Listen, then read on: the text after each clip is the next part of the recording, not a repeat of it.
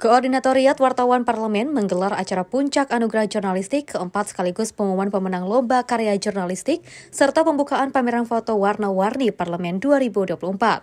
Acara tersebut dihadiri oleh anggota DPR fraksi Gerindra Habibur Rahman, Kepala Biro Pemberitaan Parlemen Setjen DPR RI Indra Pahlevi, dan Ketua KWP DPR RI Aryawan.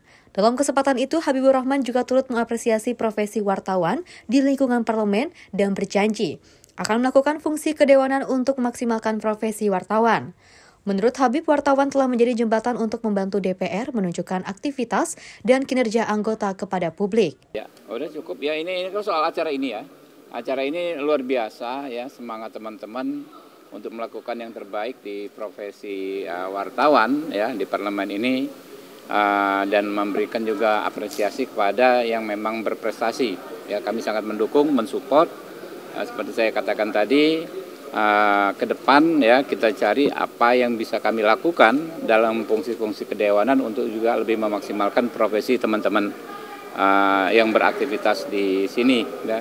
Dan kami sangat berterima kasih karena selama ini rekan-rekan telah sangat membantu kami, ya, terutama ya terkait apa namanya keberadaan kami di di DPR ini bisa terpilih kembali dan lain sebagainya Tentu karena peran besar teman-teman memberitakan aktivitas dan perjuangan kami baik di ruang komisi maupun ketika kami ke, di lapangan ya dan di daerah pemilihan. Tanpa bantuan rekan-rekan ya saya pikir akan berat sekali ya eh, menjalankan tugas fungsi kami di DPR. Hal lain adalah kami sangat menghargai ya sikap profesional rekan-rekan yang beraktivitas di sini yang tidak sekedar semata-mata mencari sensasi, memberitakan sensasi, tetapi ada semangat untuk memberdayakan dan uh, memaksimalkan peran parlemen. Ya. Dari Jakarta, Sri Dewi Andayani, Dava Rizkiano, Sinpo TV melaporkan.